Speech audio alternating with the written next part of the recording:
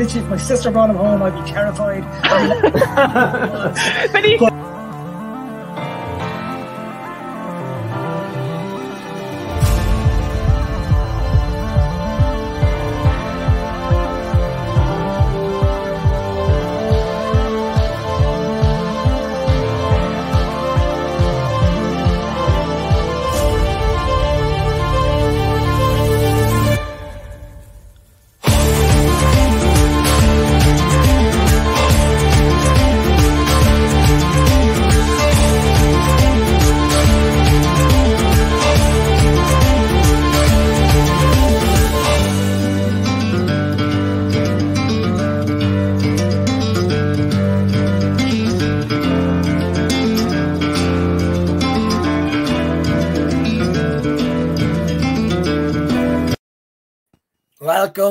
to the Irish Bear Show.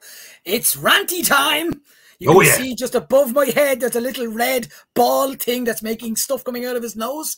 That is ranty time. I'm here with my rant brother, Tony. Tony, how cranky are you today? I'm just as cranky as any other day, to be honest with you, man. Like the the the the, the, the novelty of us being amazing on Monday night and running all over the pats has worn off a wee bit. So I'm kind of getting back down to my usual pissed off levels. So I'm ready to rant about some shit. I'm ready to talk about some people. And uh, yeah, I'm I'm I'm almost the guy with the red face, but not quite. I'm getting there. Yeah, yeah, but the only, the only thing is you haven't got the baldness that, that comes with just having red face baldness. So yeah, look, let's get straight into this. Let's not stick around. People don't want to be listening to us talking stuff. We're going to start with this debate. And I'm going to put myself straight out there at the very start and say Brisker and Gordon versus George Pickens, right?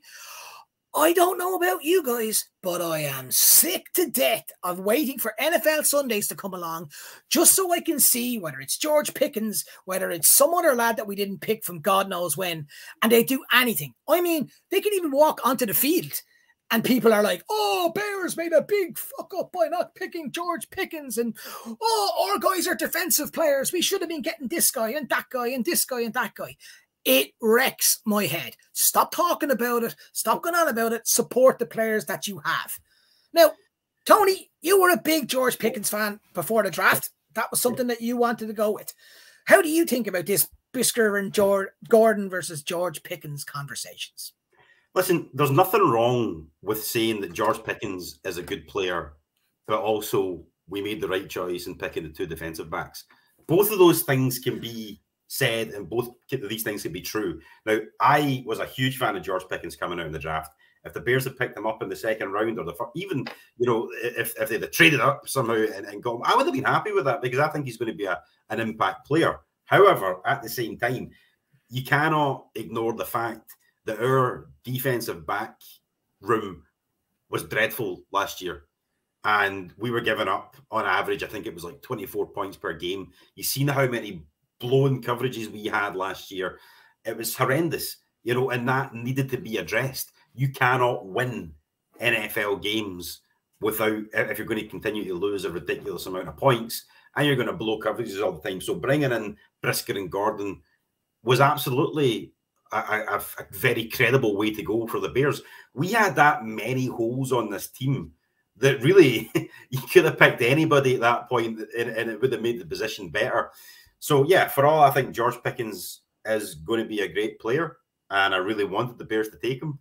I am in no way calling the Bears out for taking Brisker and Gordon instead of taking George Pickens because end of the day, if we hadn't taken Brisker, the, the safety position wouldn't be the same. I don't think Eddie Jackson would be playing to the same levels as he's playing to at the moment.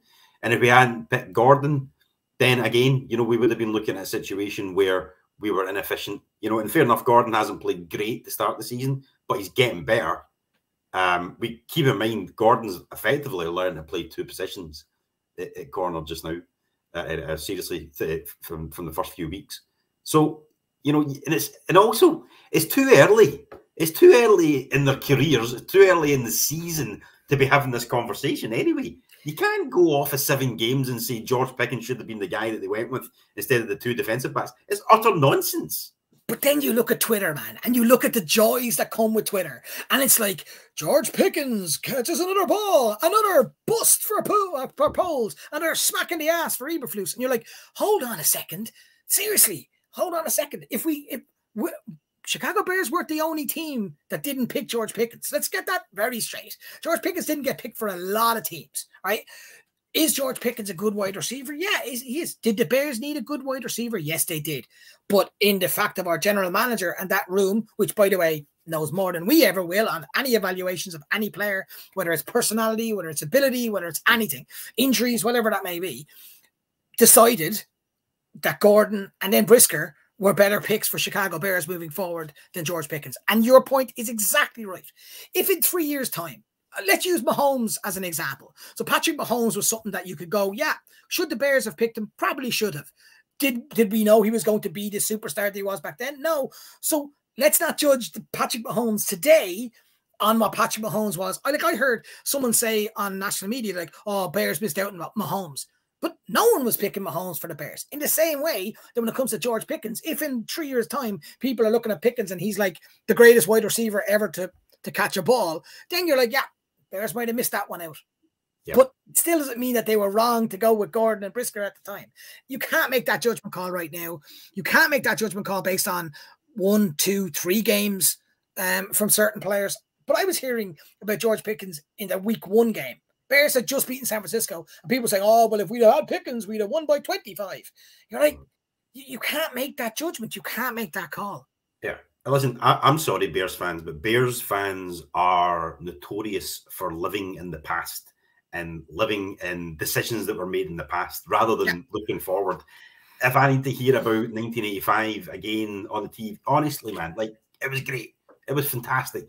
But we can't keep living in the past. We need to move forward. Decisions have been made. We've got a team. We move forward with it, and that's the way you got to look at it. You know, let, let, us take a let's take a few minutes and, and talk about George Pickens, okay? Because I said, he's, he's he's looking like he's going to be a good player, you know. But at the same time, it's been seven games, so who really knows? Let's bring the stats up here. So he's got 26 receptions so far on the season, 338 yards and a touchdown, one touchdown in seven games. Do you know when that first touchdown came? Just literally three days ago. That was his first touchdown in the year. Okay. Now I understand that Mitch Trubisky's been thrown to him, you know, um, and it, you know, basically he hasn't had a great quarterback situation at all. Fair enough. Okay, you have to take that into consideration. But at the same time, you know, th- this is a rookie wide receiver. You know, he could put him in any team just now, and I don't think he's going to make an immediate impact. He's certainly going to not going to make an immediate impact on the Bears. The Bears are struggling to keep Justin Fields upright. Um, so in terms of getting the ball to George Pickens, it probably wouldn't have been slim Pickens. Uh, it wouldn't. Hey. It wouldn't, it, it, wouldn't. It wouldn't have been. It wouldn't have happened. You know, the Bears are building I, something. Sorry, where do you go? No, go on, man. Go on, man. Oh, I was just going to say the Bears are building something, and that doesn't necessarily involve having to just take a wide receiver for the sake of it there, there was so much more that needed fixed on this team. You look at the, I mean, the Bears. You've said it yourself. We don't know what the Bears are thinking. We don't know what their grades are on on players. You know, they could have had George Pickens as and as a kind of second round grade as well, but they might have had Brisker and Gordon ahead of George Pickens. And that's not to say that they don't think George Pickens is a great player. They do, but the way the draft board has fallen, in, the, in terms of they had Brisker there and they had they had Gordon available, they thought, well, we didn't think those guys are going to be available. Let's pick them. You know, if they two guys weren't available at the time, then there's every possibility they would have picked up George Pickens. You know, because, but again, we don't know how they had their their board set up, and we don't know who they thought were. Obviously, they thought Brisker and Gordon were were, were better picks, and they were going to help the Bears out more just now and in the future than George Pickens would be. Um, it's it's it's crazy what I wanted to bring up as well is just quickly have a quick look at the, the stats for for for Brisker and Gordon as well. So, you know, I, I would argue that Jaquan Brisker is en route for defensive rookie of the year. Yeah. Um, and we're only seven games into the league. Um, I don't think George Pickens is going to be anywhere near offensive rookie of the year. Okay. Um, so 42 tackles combined between solo and and and, and duo, uh, two sacks, for the safety, one pass defended, one interception, one fumble recovery as well. This guy is everywhere. Anytime that you see the Bears defense on the field, Brisker is involved. He has been a huge impact player since he started, since game one against the 49ers. He has been making impactful plays. He has made this defense different than what it would have been if he wasn't in the team. And can I add to that, right? When the draft was done, right? If you, this is what I think in polls. And we don't know what's going on in that room with Cunningham and Poles and that whole team. We obviously don't have a clue. But I think I'm looking at, if I'm Poles, I'm looking at that and I'm going, Brisker is a starter week one. Definite starter week one. And we're now, let's say the call is between Brisker and, um, and Pickens. Let's say that's the call that they're looking at. They're looking at that going, is Pickens a starting wide receiver week one? Don't know. Not 100% sure. We've just gone and got um, St. Brown. We've just gone and got Pringle. We've got um, Mooney as our main wide receiver, and we're now looking potentially at, at tight ends. They may have seen that and gone, he's a very good player and someone that we really want, but this guy Brisker is a week one starter and a week one impact player. And as you rightly said, we're looking at the upside for him with Eddie Jackson. And suddenly we're forcing player like their their whole thing was we've got to beat the Packers, we've got to beat the Vikings, we've got to beat the Lions. That's the the main focus for the Chicago Bears. Take the North back and never give it back conversation. And they needed to make sure that they were tightening at the back end of the field so that they can work everything up forward after that. And then they could go into year two and go, let's get our D line sorted, let's get our O line sorted, let's look at that defensively so that we're not getting hammered out the gate and that the game isn't being forced on Justin to try and you're you're 15 points down, you gotta you gotta start rolling quickly. The Chicago Bears have been involved in every single game they played in this year. They've been there, there or thereabouts going into the fourth quarter, including Green Bay when they were beating out, beating out the door, but they were still there. It was it was a couple of couple of moments away from being seven points down with eight minutes to go or seven minutes to go in the game. So they've always been there. Why? Because they've solidified defensively, and it's more difficult to to find holes in that Chicago Bears defense right now, as you can see by the third quarter scores. That's why they picked Brisker.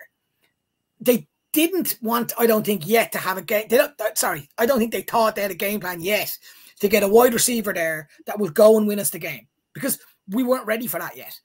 And um, ironically, if Pickens was in the draft, this coming draft, I think he ends up in Chicago.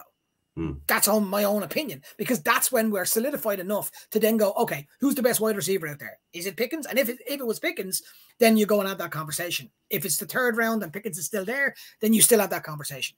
That's the difference. Is the other one the stat before you put up? I just want to throw something to somebody, to everybody that's there. So the one, the one about Pickens' stats, like that one, 26 receptions, 330 yards, one touchdown. Let's look at one touchdown for a second, right? Kyler Gordon was what seven yards away for having the same amount of touchdowns as George Pickens. And he only doesn't get it because the wide receiver in, in New England makes an amazing defensive play by racing backwards. Most wide receivers don't do that. Right. And therefore, had he scored a pick six, he would have had the same amount of touchdowns as George Pickens. Yeah. Just putting that out there. It's a fair point to make. And let, let, let's let's look at Gordon's stats. So obviously, you know, different position, 37 tackles, uh, playing the two corner positions over the, the last seven uh, weeks. One forced fumble, four passes defended, and that all important interception that he got last week against the Pats.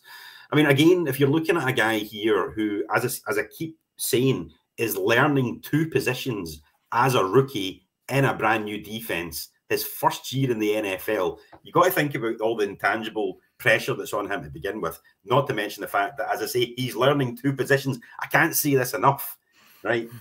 And you know, fair enough. You can look at his what he's done over the first few weeks, and you can say, well, you know, he made mistakes.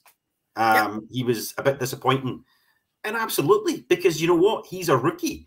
He's learned two positions. He's going to make mistakes. That's inevitable. He's he's effectively been thrown into the deep end here. Um, but you know, we've seen over the last two three weeks that he's getting better. He's getting better. He's making impact plays now. Like him making that, that interception that he had against the the Pats on Monday night. I mean, the coverage on it was fantastic. He's yep. getting to grips with things. He's learning the system, and he's getting more comfortable in himself in the NFL. And that game on Monday will have done them the world of good. And I think it will only move, lead to, to more interceptions moving forward. You know, fair enough, he didn't get the pick six, whatever. He's he's making impact plays. And I think you need to take that into account. Now, when you what, what I will caveat all this with is there's nothing wrong with having a conversation about what if the Bears had taken Josh yeah. Pickens instead yeah. of one of these two guys. There's nothing wrong with having that conversation. The, the rant that we're having here is because it's a con- constant conversation every single week off of the back of, oh, well, George Pickens is out there and look at that fantastic catch that he made. Oh, we don't have anybody making that catch for us. It's apples and oranges because – they're play, they played different positions altogether, you know, and you, you can't compare the two of them. It would have been it would be great if we had more playmakers on offense doing things for Justin Fields, absolutely. But I don't think having having George Pickens in there is going to make a huge difference because Justin Fields still needs to be able to get the ball to him. Justin Fields, Fields can't be kept upright at the moment to make to make throws. He's having to run for his life all the time. Do you know what I mean? And here's so, and here's a and here's a question for you let's say, let's say, use the analogy. Everyone's, oh, George Pickens, exactly what you just said. Should be at the Bears, and he would do all this and all this. We have Darnell Mooney. Darnell Mooney is a better player than George Pickens right now.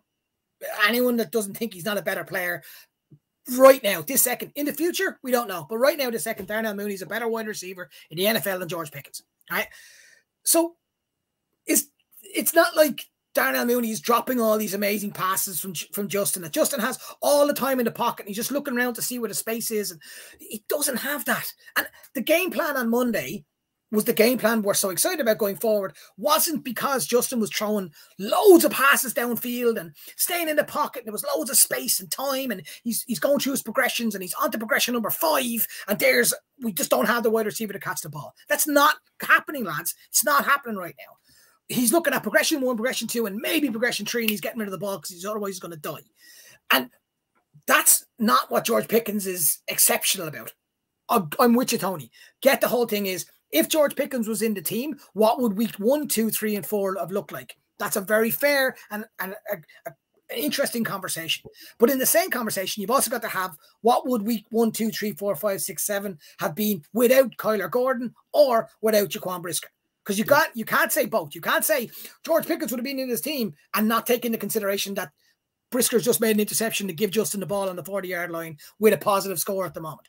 Those yeah. are the those are the those are the matchups, and that's not what's happening right now. What's happening is look at Poles as latest fuck up because we didn't get George Pickens. Or it's and again, it's not just Pickens, it can be pretty much across the board. Anyone that wasn't like I heard someone talking about uh, some of the O line players that we we no longer have playing for us, and they're like, "Oh, it's amazing how much we miss." Blah blah and blah blah, and you're like, See if oh anybody mentions Charles Leno Jr. to me, I'm, I'm going to. No, I, that's why I didn't want to mention his name. Like I just didn't want to put it down. But it's it's that kind of stuff. Like people talking about like I don't know, uh, the, the kicker at San Francisco. It's like we, we that, that what? Those days are gone, man. Khalil Mack makes a sack and it's all over Bears Twitter. Oh, we make Mack. Quinn, if Quinn balls out for the Eagles, everyone's going to be talking about how, oh, that's a terrible trade. It's yeah. actually a fifth rounder. And oh my God, man, support your old, team, support your players.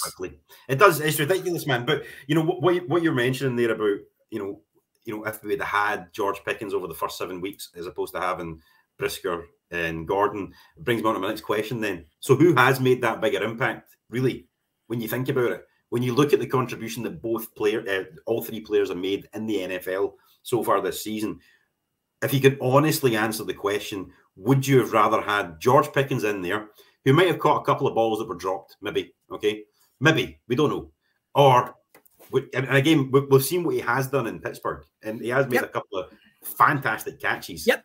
But really, it's been a couple of fantastic catches versus the impact that Gordon and Brisker have made over the first seven if, weeks. If some, if we had the draft again and Bears are sitting where they're sitting, I don't think Brisker's available. Yeah. Don't think Gordon's available. Genuinely, I think they're gone because if you play the draft back now, I think Brisker would be taken in the first round. Literally, I think the end of the first round, at the very start of the second round, Brisker would have gone because he's going to be in the conversation for rookie player of the year. And, and I, I think it's a really good question about who's made the bigger impact. If you're just going on the snippets of highlight reels for 10 minutes per or five minutes of each game, then you're probably looking at, well, Pickens, look at that chance, as you said. But if you're looking at the overall impact, not just himself bringing to the team, but the overall benefit of the team, Brisker's the best of the three. And then you're looking at Gordon. And and Gordon, what I love about Gordon, you said about him growing, is that he he could have fallen into a shell. He got targeted in week two and week three, and he fell down. He was targeted up in Lambeau, and he was targeted even by the Texans, and he was in a little bit of trouble. And then suddenly we get into into week week six, I think it is, five and six, and he bats down a ball, and you're like, okay, yeah, that's good. That's good to see. He's learned from that, and he wasn't getting targeted in week six, and suddenly in week seven, he's he's, he's picking he's picking pass out and and basically cementing the game. And I just I just like that progression from him. And I still think if the draft is done today and we're getting to a point where it's Gordon versus George Pickens, I personally am still picking Kyler Gordon. That's just me. I think I think you need to look at this in terms of you know that pressure. How do people respond to pressure? And it's the old saying like pressure either creates diamonds or burst pipes. You know, so yep. you have to look at how people are reacting. And Kyler Gordon has reacted very well to the pressure, not just from you know the pressure he's put himself, um, from the mistakes he's made, but from the media, from the fans. He's he's responded very well. Now, there's been reports out there about George Pickens and his attitude and his personality. You know, we uh, Greg Gabriel on here a few times talking about how you wouldn't pick him for, for those reasons. Now, obviously, I'm not privy to anything like that at all. I don't know what what he's like, but you know, yeah, there's an argument to be made there that if that is the case, and he's the type of guy that might throw the dummy out the pram, then you have to think, well, maybe picking Brisker and Gordon was the better idea in the first place because yep. they've responded better to this pressure. Now, Pickens hasn't had a lot of pressure so far. In fact, he's been the guy moaning that he's not been getting enough passes thrown to him. Now he's been put in a position where he's arguably getting a better quarterback situation than he had, you know, uh, who's better out of the two there is, is, six and a half a dozen for me at the moment, to be honest with you. Yep. Um, but you know, eventually he's going to get to a situation where they have a better quarterback in place, where they have it all set up for him to be successful. And how is he going to respond to that? We're speculating at the moment. But again, I think that's something that was taken into account when they were looking at these two guys and thinking, who would I rather have on my team? Who's going to have a bigger impact? And you are looking at a guy at the moment in George Pickens um, who has complained versus two guys in the team who, especially with Brisker, in my opinion, has been out there and led by example. Uh, no complaining in the media, nothing like that. Um, and I think you, you really have to take that into account. So, and again, I'm not, and I was a big advocate of George Pickens, and I think as a player, skill wise, he's, he's going to be one for the future, absolutely. But football teams don't just look at that. They talk to guys, they interview guys, they find out exactly. We we don't know half the shit that's talking about in the draft. We don't. We only look at draft profiles that people put out, and from what we do, when we look at tape. And when I say tape, it's very loose because we look at YouTube videos. Let's be honest, you know. So, let you know, yeah. So we're we're, look, we're looking at these games, and that's what we're going off of. We don't know the ins and outs of everybody. Um, so I have to trust that the right decisions were made. And if I'm being honest, from what we've seen so far, I think the right decisions have been made. Sure, I would love more things around Justin Fields, but that'll come in time um, and and as people develop. But yeah, as well, and there, I have to stop and there, and there, right there, is exactly what what I would say around the fan base in Chicago. We need to give people time. We need to just and, and, that's something we just don't do. Like, okay, every single fan is up delighted because we played on Monday. Everyone's ecstatic. You rewind five days, and people were talking about trading Justin Fields. They were talking about getting a getting a, a quarterback in the, in the first round. They were saying that Mooney is a bust. They were saying that everyone in the O line except Jenkins is shit. They were saying try get rid of every one of our running backs, get rid of the coaches, get rid of everybody. And now this week, because we we play really well, that it's suddenly, oh, this is the most, we're going to win the Super Bowl. Now, no one's saying that, but it's like, oh, we can see a plan and a progress, etc. And I get that. You're allowed to be a fan, you're allowed to go up and down. That's emotions. I get all that. But at some point, you've got to sit there and go, okay, what did I see against Washington that was wrong? Well, there was a lot to see against Washington that was wrong. Didn't it didn't succeed? And and did they rectify that going into the next game? Did they look at trying to change that going to the next game? Yes, they did. For me, Dallas isn't necessarily about winning and losing the game. Of course, I'm a Bears fan. I want us to win the game. But that's not what I want to see against Dallas. I want to see the next little progression that we've taken from Monday and use similar threads to that how that game was won, and then use it again as Dallas. And if we don't win because Dallas are a better football team, that's fine. I I, I accept that, and that is absolutely grand as long as we go down with our boots with our boots. But to do that, going back to this discussion, to do that, you need to have players in the locker room that are all linked and connected into the same belief, the same thought process. And I think we have that right now. I think we're a very tight knit football team, as shown by going into into New England and winning the way we've won. I think we go to Dallas, another tough place to play in. A lot of interesting calls will come from judge from the from the referees, and you need to have that tightness going in. And I'm not questioning George Pickens at all. I don't have a clue about the man. The man could be the nicest human being in the world, and the two other lads might not be. But everything that's been seen from from everything we looked at in Chicago right now is that we have that tight knit group. And I just want the fan base to realize and give those guys time to make mistakes, to make errors, but to move on. But yeah. before we go, because we've been ranting for 26 minutes, we said we'd have one last thing, right? one last thing, right? So we watched the game on Monday, and I remember watching it live and thinking, oh, Mac Jones, that was a bit of a dirty slide. And then we come back on Tuesday and we see it wasn't the only one, right? He kind of went after Kyler Gordon, not Kyler Gordon, he went after Brisker a few times with sliding and, and movement on it. So my thing is when Brisker intercepted intercepted Mac Jones and Mac Jones had to sit his ass down for the rest of the game, I remember people like, oh, that's a bit harsh on Mac Jones based on what I saw on Tuesday morning, delighted. Couldn't yeah. happen to a nicer man. What was your take on our good friend, Mr. Jones? See, be honest with you, at the time when it happened, I kind of the first time I seen it live, I thought, oh, that that's been a that's been an accident.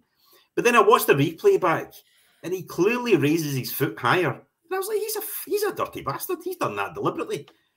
And at the time, I called it out and I said, "There's no way he can get away with that." And then obviously Brisker comes back in the next play and gets an interception, or the, the second play after that and gets the interception. It's like, "Well, fuck you, Mac Jones. That's what you get."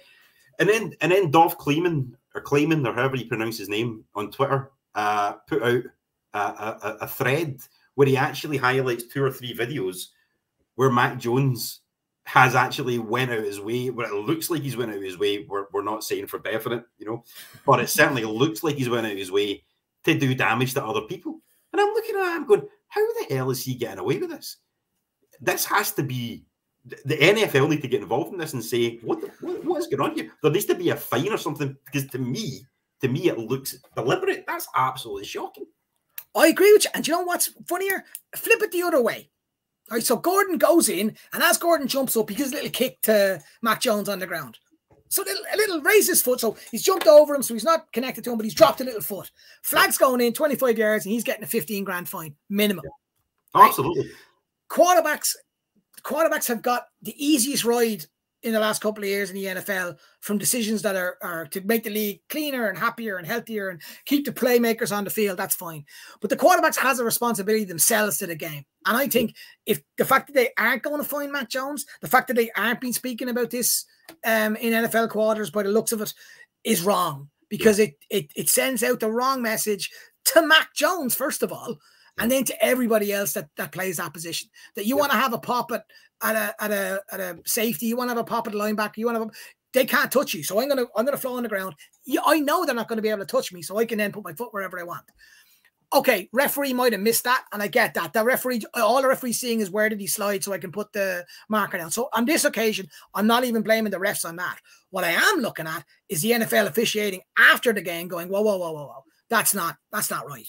What he just did there, that's not acceptable, and we're going to fine you, and we're going to fine you heavy because we want to put a statement out to everybody that a quarterback can't be touched, but that doesn't mean a quarterback can do whatever the hell he wants. Yeah. And Listen, and I, I I'm not saying for definite that this was a, we can't say it was deliberate, okay, because it's not fair, right? But from what you look at, you can make your own assumptions of it. But there has to be some sort of retrospective investigation at least. Correct. Micah Parsons, Cowboys defend, uh, defender Micah Parsons tweeted out last night um, God forbid he makes contact with Mac while he slides. Man will get fined 25,000. Hashtag protect defenders.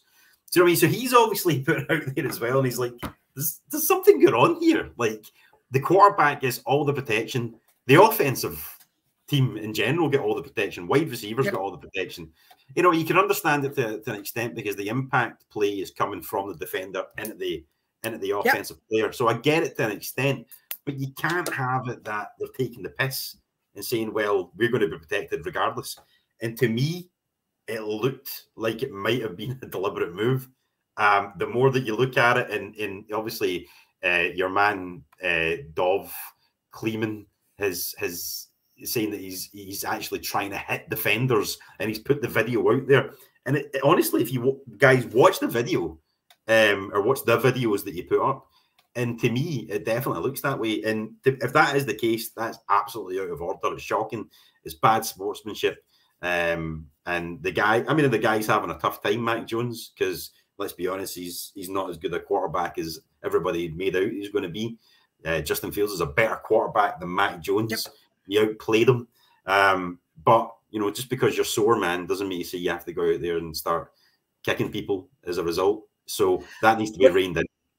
But it's also in certain sports you can do that, and then the next play you get absolutely muffed up, right? So let's say let's say an O lineman does it to a D lineman, just just does it to a D lineman. The next play, the D lineman can absolutely destroy the guy as a as a wretch. And in nearly every sport you can think of, you have that scenario. The NFL quarterback is the one, almost the one diamond in the sport in all sports that gets protected, and he did, but he then has a responsibility to the game. And again, I'm not saying Mac Jones did this on purpose. I'm just talking about all quarterbacks.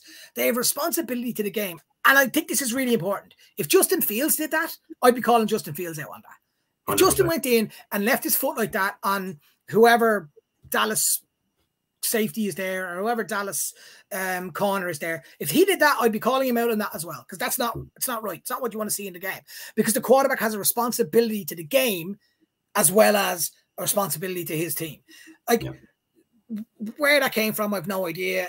Look, justice was served. He picks, he gets picked by by Brisker, who then goes down the sideline. If I was Brisker, I'd have ran into his face personally, but then he probably gets a 15 yard penalty and all this other shit. But I think for me, Brisker does it. That's how you respond to that kind of crap. Is you you literally just catch the ball and and he ends up getting benched on the sideline for the rest of the game, and his yeah. career is is now under pressure that wasn't there, let's say, three weeks ago. So that's how you answer that kind of stuff. Um, but again, it's I really think it's on the NFL to to have a look at stuff like that and and change what what outlook we have on on everything like that. Tony, as always, my good man, it's been absolutely fantastic having. I think this is rant, rant number three.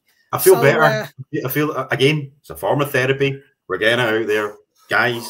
I highly suggest that if you're listening to this, that you rant to the TV as well while we're talking. Correct. Get out there. It's good to get Correct. out there. Like, be a healthy human being. That's what it's all about. Yes. We're not machines. we're not. Uh, and if you want us to talk about any other rant stuff, by all means, you have Tony's Tony's at, you have my at there. Send it to us. Send it to the Irish Bear Show directly. What exactly you want to rant about, and we will talk about anything. We've talked about the Bears and football, but we're up to talk about anything: TV shows, the shop, the cost of milk, whatever it is. Rugby. Throw it on to us. Roll. Let's not go that far. Let's not go down that road. I'll have Karen on to me straight away. But we'll literally talk about anything we possibly want to have. Um, it's it's as Tony already said, it's therapy, it's good. But at the end of the day, it's all about Sunday we're having this weekend. There's a show on tonight with the lads are gonna gonna discuss everything with, with Dallas. So make sure you click on the subscribe button, click on the watch button, make sure you tell all your friends to go on to the Irish Bears show because you know what? It's a bit of fun. Tony, before we go, nothing to say.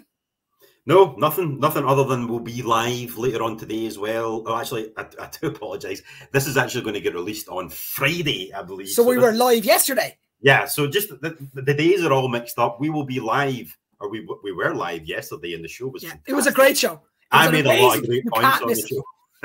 you can't miss it. You actually can't miss it. It's an amazing show. But we'll be back on Sunday with the pre-game and the post-game. So make sure you join in and tune in. Make sure you do that.